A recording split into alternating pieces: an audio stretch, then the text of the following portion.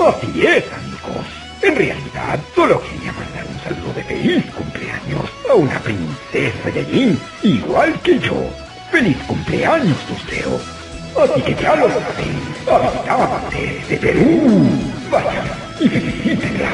Si no, tendré que destruir los insectos con un